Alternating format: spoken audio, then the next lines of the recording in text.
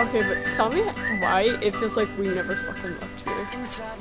Tell me why it feels like it's been two days. Uh, because it has been. True. I'm just glad. I it doesn't feel real. Like today just has been a really weird day.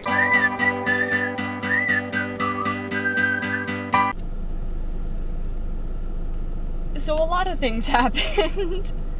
um, I that I haven't filmed anything, mainly because it's like so early in the game and people people don't know me. Like teachers, like some people in my classes don't know me and aren't really kind of grown to the idea, and I don't really know how to like approach it but yeah, a lot of things happened. I had a last minute schedule change yesterday, and so now I'm taking uh, American Law, which is A1. And that was yesterday, and then today, same thing happened, just chilling. I don't know. Hopefully, like, hopefully when ev- everything gets settled in, and everyone kind of gets used to each other, and I get used to, like, being more, I guess, social. I feel like then these will be more fun to make it to edit and to watch. But right now, at this point in time, it's a struggle because I don't know what I'm doing.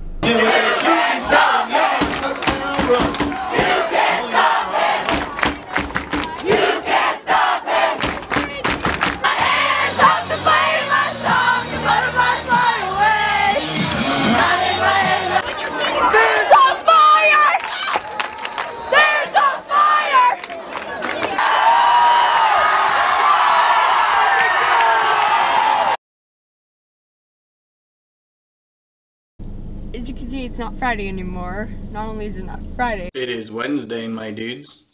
Saturday I was sick. I didn't, I didn't feel good, so I didn't do anything. Sunday, kind of same deal. Monday I went to the doctor. I had a well visit, and he said you need a couple of shots. Everybody. So got them, and then yesterday, um, yesterday was September 11th, so obviously that I did not pick up the camera. But yesterday I noticed that my arm, the arm that I got the shots in, hurt like hell. And also, like everything around me, my entire like abdominal area was so sore. And I looked it up, and the vaccine that I got, that's just one of the side effects. So I didn't really think anything of it. Um, and then this morning, same thing, sore, like n- nothing else. My throat hurt like a bitch. My n- like nose was stuffy. I had um, I don't know if you can constitute it as a fever, but it's not great. And I looked just to look and see how the um, two shots were healing. It was ba- like if you've ever watched Supernatural, it's the first episode of season four, um, where Dean like sees the um, hand mark on his arm. That's basically one what it felt like, two what it looked like, and three about my reaction. Oh my god.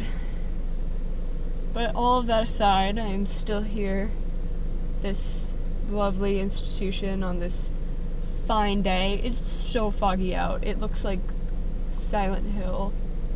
Like, I, f- I feel like I'm playing Silent Hill. I'm waiting for a jump scare. And honestly, just this entire, like, week has felt like a simulation. Which is great! I love it here! So, I'm gonna go in.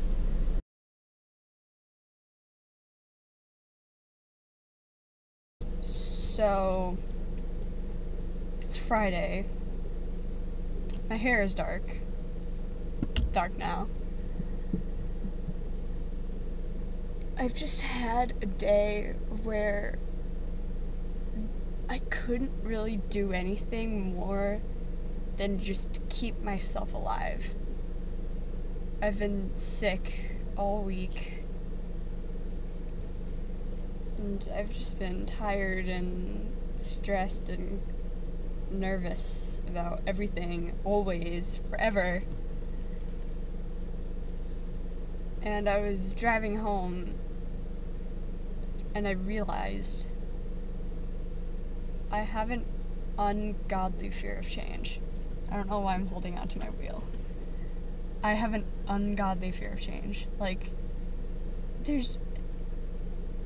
That is my number one fear. It's, you know, it's not spiders, it's not death, it's not anything, it's just change. And this year is gonna be bringing a lot of people in and out of my life. It's going to be bringing a lot of change.